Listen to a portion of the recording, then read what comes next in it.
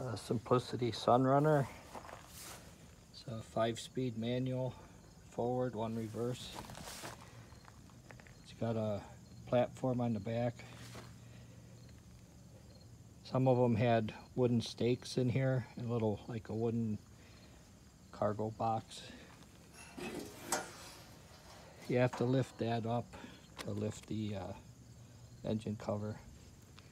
You can see it comes with some weights because the back end's pretty light.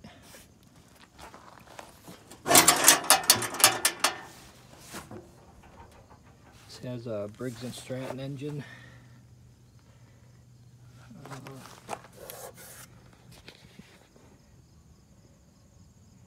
Looks like a 96. There's the transmission. It's got two fuel tanks, one on each side. They run together.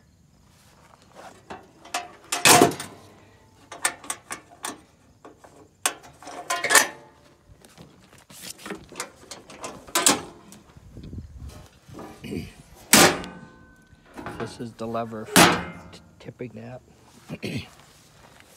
got a front cut deck.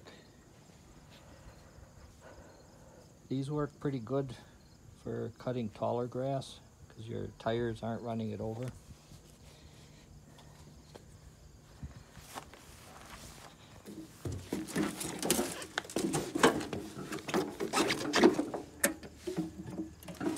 All the way up is choke.